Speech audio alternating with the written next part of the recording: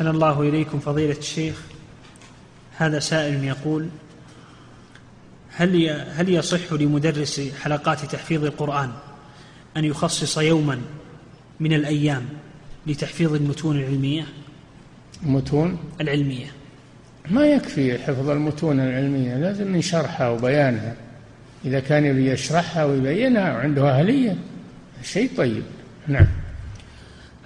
إعداد مشروع كبار العلماء بالكويت أعزها الله بالتوحيد والسنة.